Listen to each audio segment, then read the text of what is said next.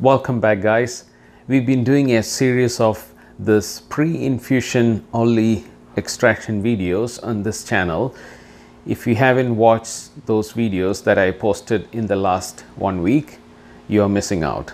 So do watch that. Uh, it's so interesting videos. Uh, it's about how to control or how to do pre-infusion shot alone in, in espresso and also we also covered the turbo shot in Breville Barista Express. So do watch those and if you're new to my channel, please do subscribe. Now today we are going to do another interesting video. Now you might have seen uh, people controlling the pre-infusion flow. Those are inexpensive machine. Can we do that here in this Breville Barista Express? Obviously not, uh, but we can achieve a bit of that. Okay, I'll explain further. Now, in the pre-infusion mode, this machine will, the water will slowly seep through the puck, which will increase the pressure. Now, that increase in the pressure will be very slow. Now, you may be interested to know how much pressure you will get in the pre-infusion only shot. Good question. That's what we are going to find out today. What is the maximum pressure we can get in the pre-infusion only shot? I'm going to do a test right now and that will show you the maximum pressure in this machine in pre-infusion only shot. So that's the first thing we are going to do and then we will do an extraction after that uh, using uh, the beans obviously and then see how much pressure we will get, the maximum pressure I mean. Now, what is the benefit of doing that?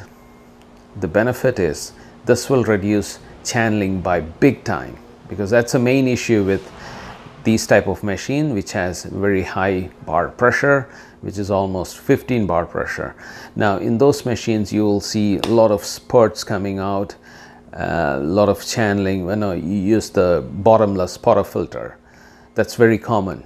Now this can, this type of shot that is pre-infusion only where it's well controlled, that will greatly reduce the channeling and you will have the, a great extraction. If you can get high pressure, you will, get, you will extract all the flavors out of the beans. That's the main thing.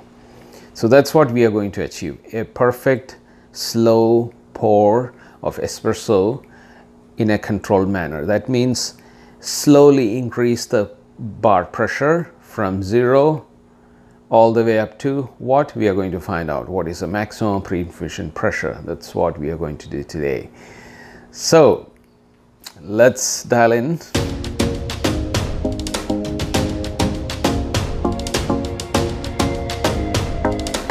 Now the first thing we are going to do is we are going to test the pressure. What is the maximum pressure we will get in a pre-infusion only mode so in order to do that, you need this item. Now this came in your toolkit. This is the clean disc that came in your kit. Now using this, you will be able to test the maximum pressure.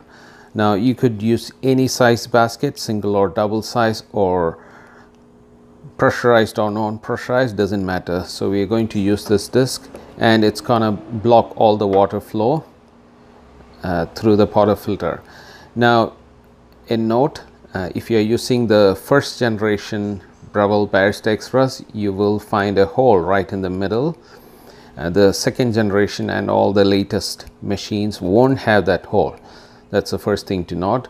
So if you have the first generation machine I would say wrap this disc with a cling wrap. That's all you do. And then drop it into one of your portafilter any size now let's go to the machine and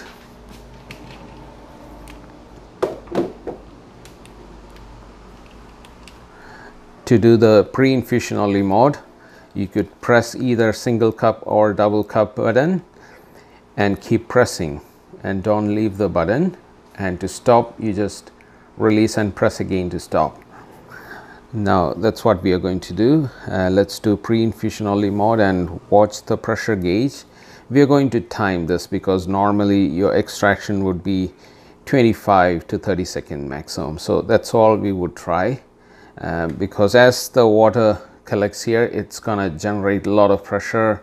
So it's you will see that the pressure gauge will slowly rise up according to the pressure and that's what we are going to see.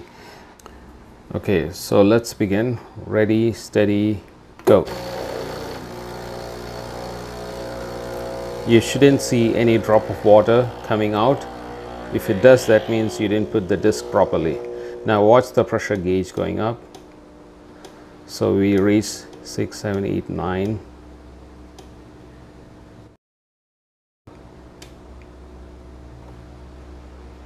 okay 25 seconds. So that's the maximum pressure you got. Around 20 22 seconds that's where uh, it stopped. That's when you reach the maximum pressure. So just to reconfirm what we just saw in our test um, we have the reading here. This is 2 bar 4 6 bar 8 bar 10 12 14 and somewhere here 15 and 16 so this is the maximum. It, it would go 15 bar pressure so exactly in 20 seconds, that is the maximum peak time that we saw and it reached right here. That is between these two lines. That is exactly between 8 and 10 that is 9 bar pressure. This is the line that it stopped and it took exactly 20 seconds to reach that mark. At least that is a great news for you guys that you can get up to 9 bar pressure. That's what we just did. Up to 9 bar pressure, that too in a very slow and controlled manner. Now, to get 9 bar pressure, your grind size should be very fine. That means you have to really restrict the flow of the espresso, but it is possible to get up to 9 bars pressure. Now, it will be exciting for you to make some shots if you haven't done before uh, do make some shots that is you have the whole control from 0 bar pressure all the way up to 9 bar pressure in pre-infusion only mode. So why not try some shots and let me know in the comments below how much maximum pressure you achieved and how was the taste of the espresso. Anything between 6 and 9 bar pressure should taste okay. So don't be shy in trying out some of the shots and let me know in the comments below. Now I'm going to make a shot and i will try to achieve somewhere between 6 to 9 bar pressure. I may not achieve all the way up to 9 but I'll try my best to get somewhere close to 9 bar pressure. We'll see in our test how much we'll get and then we'll taste that shot and see how it is. So let's begin. In this case I'm going to take 19 grams. Okay 19 grams and my grind size is at 5 and let's get it grinded. 19 grams in.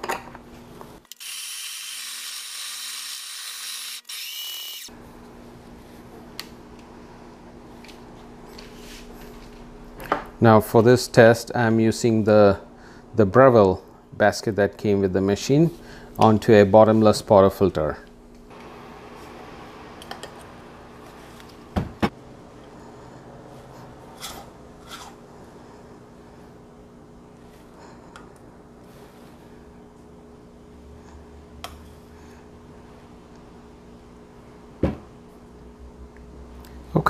let's use this.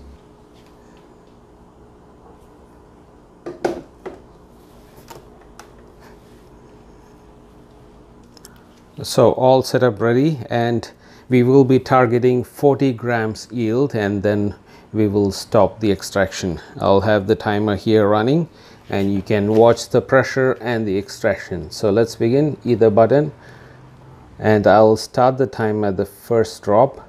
Let's begin. Ready steady go.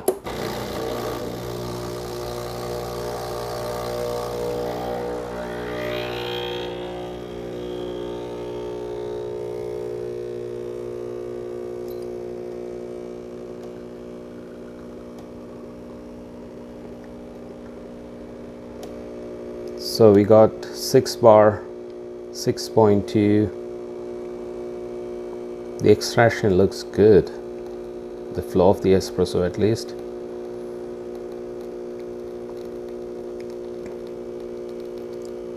So for, for some reason it's not going above 6 we got 17 18 grams extraction. It's already 30 seconds. And I think I'll stop now uh, because it's 40 seconds now. So okay I forgot to stop the timer but 40 seconds we got 25 grams of extraction. Let's have a look at the the espresso. So 25 grams output and look at this. A lot of crema a lot of life in this. So let's taste this before the crema dies. Okay time to taste this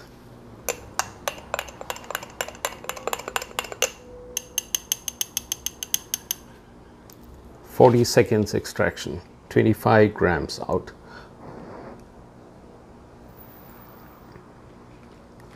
It is pretty good.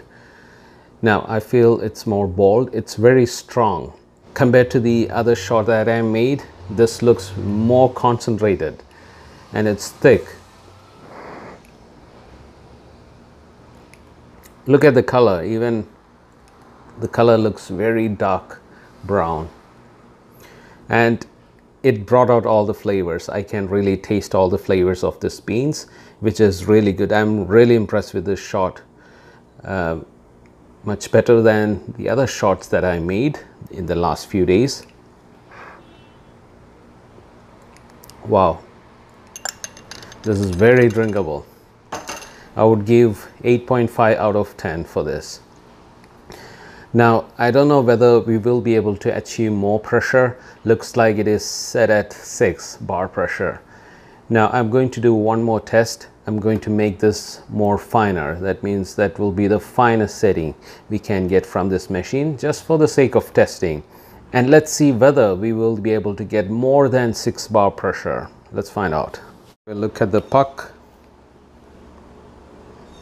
Obviously no signs of channeling, perfect extraction. Maybe a bit on the side here, but that's not bad. And it came out in one touch. So that's another 19 grams. Okay, not exactly nine. Yeah, that's 19. Let's take it 19 and in this this time I'm going to reduce it all the way down to 2 I don't want to go all the way finer I don't want to damage the burrs so let's use 2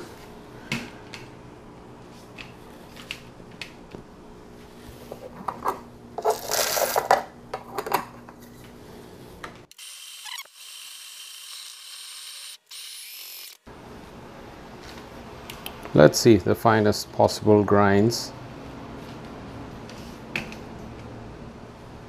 So I just cleaned up everything the same Breville basket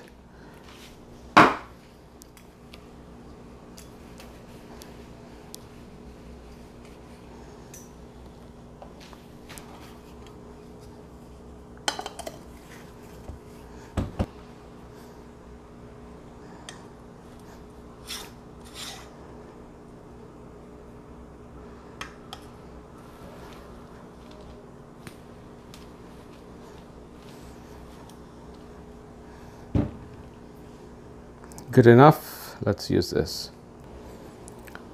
So the finest grind possible in Breville obviously depends on the beans also. Some beans grind very fine and some don't. So don't be uh, so worried about it.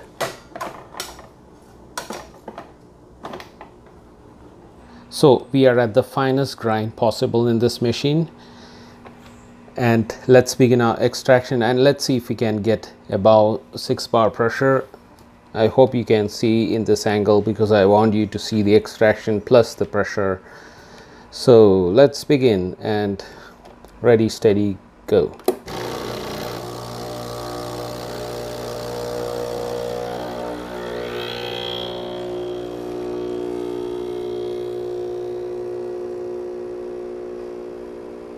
good 6 bar pressure we got the first drop.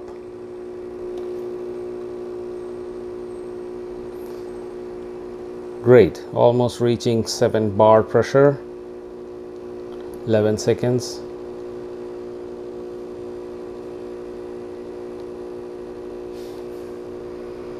The flow is a bit choking but that's what we got 7 bar pressure. Now it's down to 6.6.25 so 36 gram 37 38 we'll stop at 40 so we stopped at 40 and instead of 25 I think last time we got 25 right? Yeah. I think it's 25 we got 17 this time. So obviously because of the fine grind the it was almost choking so we got less extraction this time. 17.7 let's have a look at the shot. Again a lot of crema it looks very concentrated and dark brown. So time to taste this. I'm hoping that this is bitter because the extraction was nearly choking. Anyway, let's find out.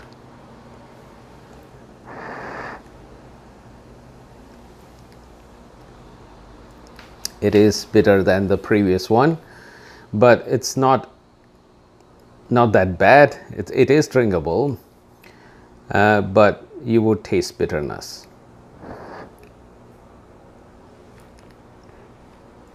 I would say 15 20 percent more bitter than the previous shot but you can still get the flavors I'm really happy with this type of extraction this is very equal to the normal extraction that you get. Why don't you guys tell me uh, find out and tell me how the taste difference is? Because for me this extraction is very close to the normal 18 grams plus the full bar pressure extraction uh, which is at 1 o'clock which is almost 13 bar pressure. Uh, it tastes very very similar to this one. The previous shot was more flavorful and less bitter. The other one okay the crema almost died. Uh, both are drinkable which I'm glad. I can confirm that for sure. Um, that's the main thing right? It, it should be drinkable. So nothing wrong in trying this pre-infusion only shot. So I hope you enjoyed today's video and at least we learned the maximum pressure for this machine in pre-infusion only mode is 9 bar pressure. And when you do the extraction you may not achieve that 9 bar pressure. The maximum I could get is 7 bar. That's what we just got the last extraction. It was a bit on the bitter side because the grinds were so fine and it was nearly choking. But if you could get close to 9 bar pressure with a more finer grind and less choking, then you should be able to get a beautiful extraction which is much tastier than this. Let me know in the comments below. I'll be waiting for your comments. So thank you guys for your time and see you guys next time. Again, absolutely no signs of channeling, which is expected of this type of extraction. So that's the best thing about this pre-infusion only shot. You won't have channeling or very less channeling. You know what to do next. If you are new, please subscribe and hit that like button and that will help this channel to grow more and I'll be able to produce more videos like this. Stay tuned guys. See you next time. Bye for now.